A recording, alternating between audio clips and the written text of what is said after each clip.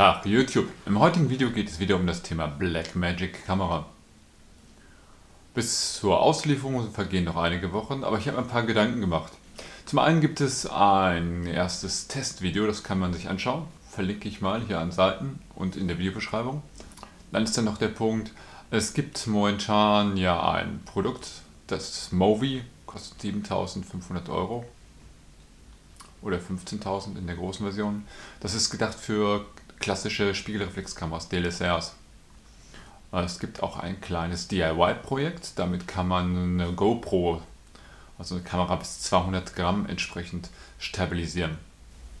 Was mir momentan fehlt für meine Blackmagic wäre eine Zwischenlösung, also so eine Stabilisierungseinheit für Kamera-Gesamtgewicht sagen wir mal 500 Gramm oder ein Kilo.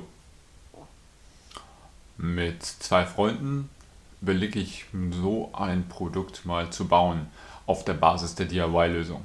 Wird euch sowas interessieren? Das ist so gesehen die heutige Zuschauerfrage.